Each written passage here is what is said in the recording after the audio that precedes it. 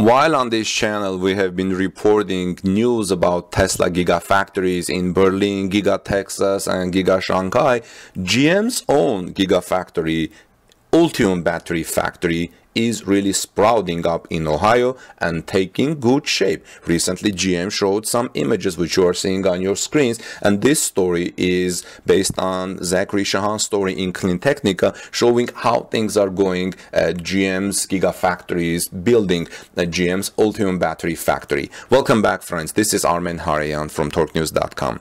It's always hard to tell what level of vision and enthusiasm for electric vehicles the top executives of legacy automakers actually hold in their hands and hearts.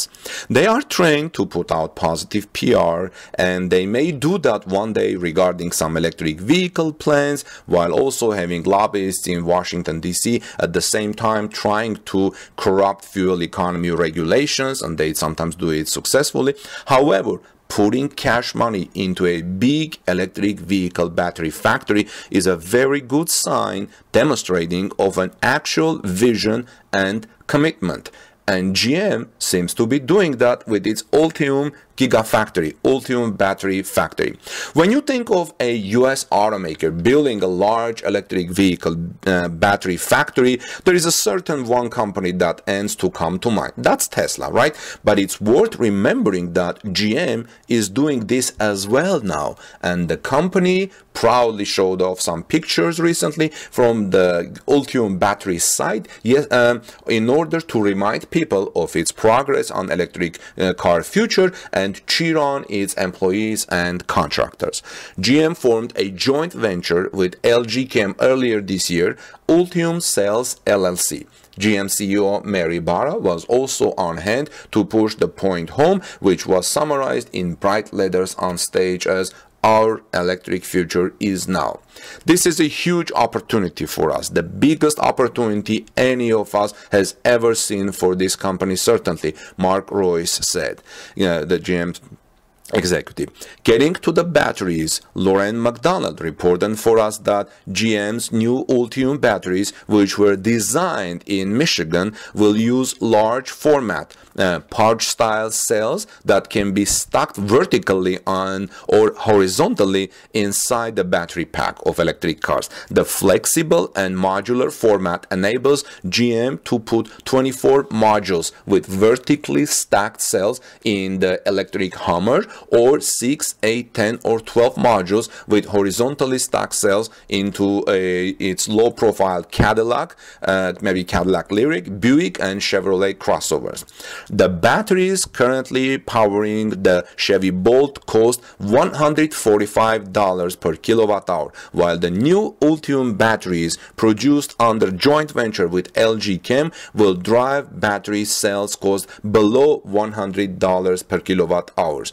This is probably the biggest news, friends, from that. Okay, right now the batteries are cost $145 per kilowatt hour that you drive in Chevy Bolt, but they're going to be below $100 per kilowatt hour. But Clean Technica says by 2025. I don't know why, why they say by 2025. Apparently, it's by 2025. But we hope that GM can achieve this cost much faster because when you look at the progress of electric car battery price per cost per, per kilowatt hour. In the past 10 years they have come down from $1000 to $145 uh, $145 per kilowatt hour. So why would it take five years to go from $145 to below $100 $100 per kilowatt hour is the parity between gas cars and electric cars.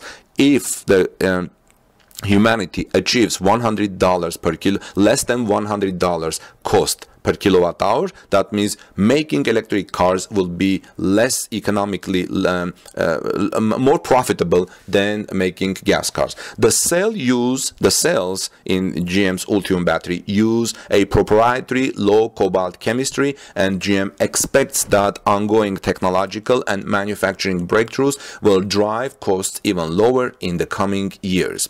I've st started raising concerns about battery pricing trends due to concerns concerns I'm hearing from the experts in the mining industries that underlie the battery industry, says Zachary. But let's hope GM has its plans in order and its supply chain secured. To scale up to deliver 1 million electric vehicles annually, the supply chain for batteries, including both the minerals and cell productions, are critical. GM will be heavily focused on transitioning to an NMCA, nickel, manganese, cobalt, aluminum chemistry from NMC, with a goal to reduce the use of cobalt by 70%.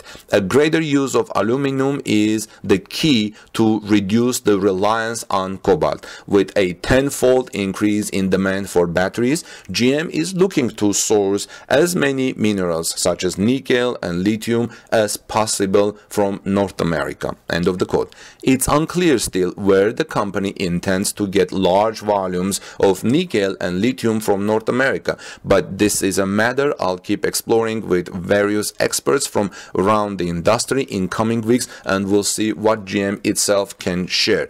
And also, uh, in the meantime, you see that Tesla is making contracts here and there, left and right, and even in Congo to get minerals, even in Australia to get minerals for its batteries. Where GM is going to get in North America, I personally don't know. But like I said, we will keep an eye on this and see what GM says.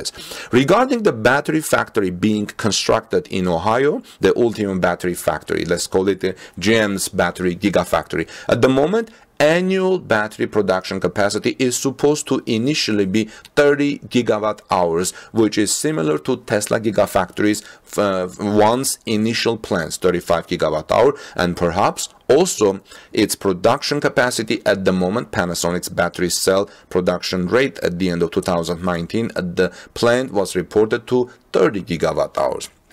Now, quoting extensively from Loren again, when GM reached its goals of 1 million electric vehicles produced annually by 2021, uh, 2025, that equates to the manufacturing of 250 million battery cells per year.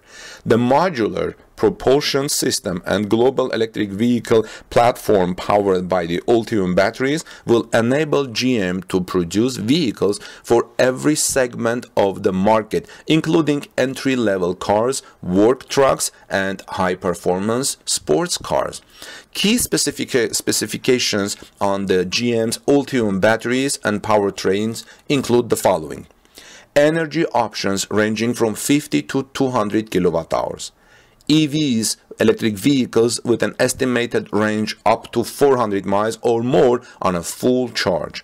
Most GM electric vehicle car models will have 400 volt battery packs and up to 200 kilowatt fast charging capacity. Vehicles built on GM's track platform will have 800 volt battery packs and 350 kilowatt fast charging capacity. 0 to 60 miles per hour acceleration as low as 3 seconds in GM's upcoming electric cars. Designed for a level 2 and DC fast charging these batteries, Ultium batteries. Motors designed in-house will support front-wheel drive, rear-wheel drive, all-wheel drive, and performance all-wheel drive applications. Initial vehicles using the initial GM vehicles using the Ultium batteries will be the Hummer EV from GMC, a new model called the Cadillac Lyriq that will be revealed virtually next week, uh, actually just uh, in a day or two two new Buick models that will be sold in both China, where Buick is quite popular, and North America, a, a mid-size Chevrolet crossover that shares the same platform as those Buicks, and updated Chevy Bolt and Chevy Bolt EUV, which um, will be the first non-Cadillac to get Super Cruise. GM confirmed this week that the production plans for the Hummer EV and Lyriq are still on track. More than 1,100 jobs are expected to be produced in Northeast Ohio for the GM Ultium battery factory. In these times of low economic activity and opportunity, that must be especially appreciated in those communities. Hopefully, that will bring an appreciation of the electric vehicle and broader clean tech transition and the electric vehicles GM eventually produces around those Ultium battery cells.